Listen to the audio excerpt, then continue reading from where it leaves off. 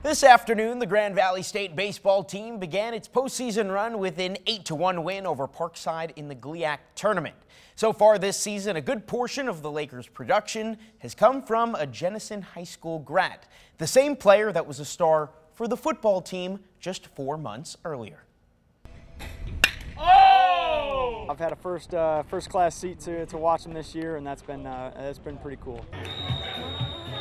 At the Grand Valley State football spring game, there was noticeably one key piece of the Lakers offense absent. Football season, you know, I'm, football is my favorite sport. That's because right behind the Kelly Family Sports Center, Kyle Nott was playing in a doubleheader for the GVSU baseball team. But in baseball season, baseball is my favorite sport. Coming off a football season where Nott had over 300 yards and three touchdowns for the Lakers, he currently leads the baseball team with a 346 average and 12 stolen bases, along with four home runs.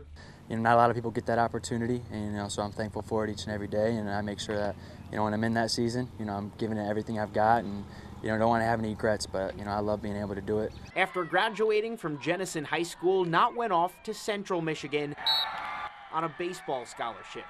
Touchdown! But quickly realized he missed also playing football.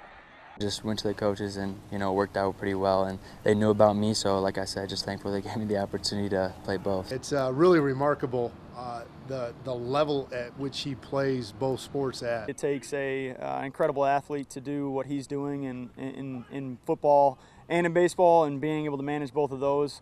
But it takes a special athlete to be excelling in both of those.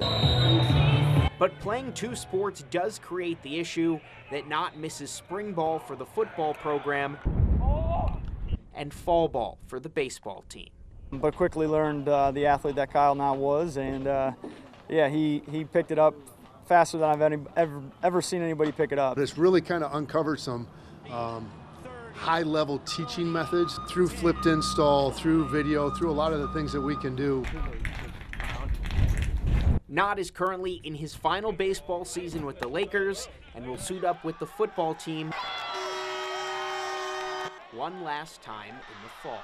You know, he's going to take those spikes off here real soon and start working out with, uh, with us in football. We've got a new offense, and I think Kyle's going to be um, just electric in this. And with all that Nott has accomplished during his college athletic career, there's just one more thing he'd like to do before hanging up his baseball and football GVSU cleats for good. I definitely just want to win a championship, that's for sure. You know, that's been my one goal. You know, growing up, I've always watched Grand Valley sports, and I've always wanted to be a part of that um, growing up. So, yeah, just definitely looking to hopefully get a championship in there at some point.